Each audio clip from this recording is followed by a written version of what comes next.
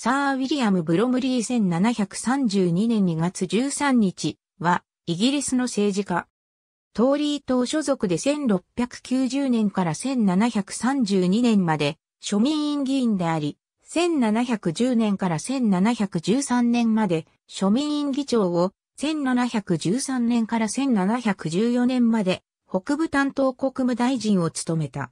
リマークス・イン・ザ・グランド・ツアー・オブ・フランス・イタリー。1705年版。サー・ウィリアム・ブロムリーとアーシュラリーの長男として、ウォリックシャーのバーギントンで生まれ、1663年8月31日に洗礼を受けた。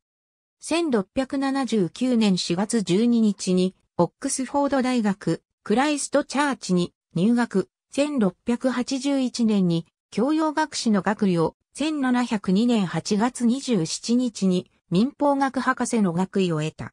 また1683年にミドルテンプル入りを果たした。1688年に大陸ヨーロッパを旅し、その時の体験を1692年に Remarks in the Grande Tour Lately Performed by a Person of Quality として1702年に Several Years through Portugal, Spain, Italy, Germany, Prussia, Sweden, Denmark and the United Provinces, Performed by a Gentleman として出版した。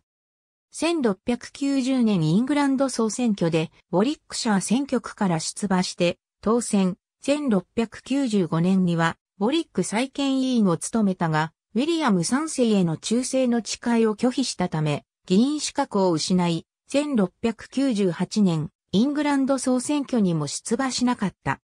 1701年3月、オックスフォード大学選挙区の補欠選挙で当選して、庶民院議員に復帰、移行死去まで同選挙区の議員を務めた。当選後は便宜的国境と禁止法案を通過させるために尽力、弁論者としての名声を得て1705年には、庶民院議長当選確実と言われたが、先代の議長ロバート・ハーレーの妨害にあった。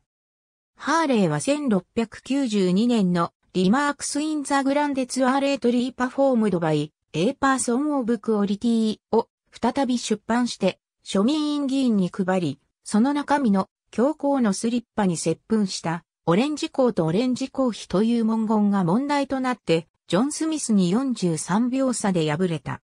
1710年イギリス総選挙でトーリー党が優勢になり、ブロムリーは同年11月25日に庶民院議長に当選、1711年6月23日に数密顧問官に任命された。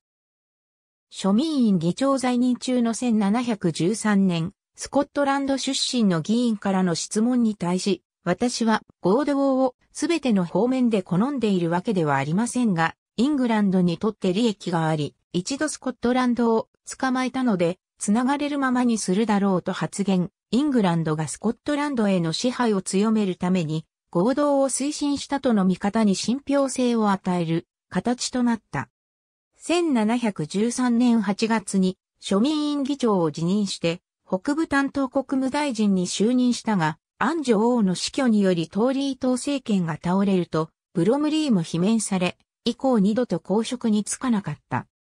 ジョージ一世の知性では、トーリー党の一員として活躍、1715年7月にオックスフォード・モーティマー伯爵が大逆罪で起訴された。時は彼を弁護、1716年4月に7年議会法案に反対、1717年12月に軍縮動議を支持、1722年10月に人身保護法停止に反対した。1732年2月13日に死去、バギントンに埋葬された。1685年、キャサリン・クロベリーと結婚、一男を設けた。1689年11月21日、トレバー・フォートリーと再婚したが、二人の間に子供はいなかった。1692年までにセシリアスワンと再婚、一男を設けた。1698年1月12日にエリザベス・ストールと再婚、に難三女を設けた。ありがとうございます。